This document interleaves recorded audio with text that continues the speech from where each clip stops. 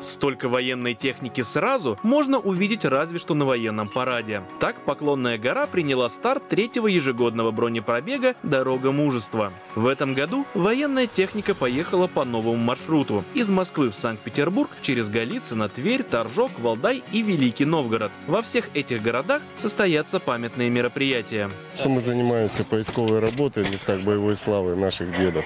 А эта акция, она патриотического характера. И мы, естественно, принимаем участие в этой акции, потому что помним и чтим память наших дедов.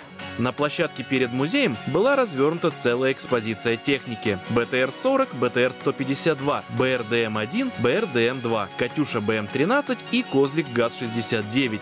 Каково ехать в дальний маршрут на такой машине? Хотим снять стекло, потому что машина военная. Здесь не просто так она снимается, что рычажок нажал, и она опустилась.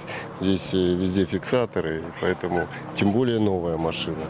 Нужно здесь немножко усилий. Любопытно, что немалая часть этой техники была найдена чуть ли не на свалках и реставрирована умелыми руками нынешних владельцев. Это БТР-152 55 года, найден на базе металлолома полностью, ну, только металл был. В малых городах участников бронепробега встречают с удивлением, но всегда рады диковинной технике. У них такое редко бывает.